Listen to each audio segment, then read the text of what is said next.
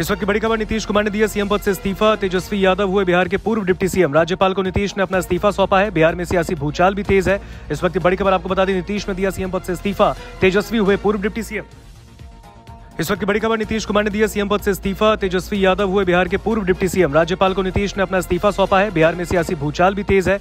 इस वक्त की बड़ी खबर आपको बता दी, नीतीश ने दिया सीएम पद से इस्तीफा। तेजस्वी हुए पूर्व डिप्टी सीएम।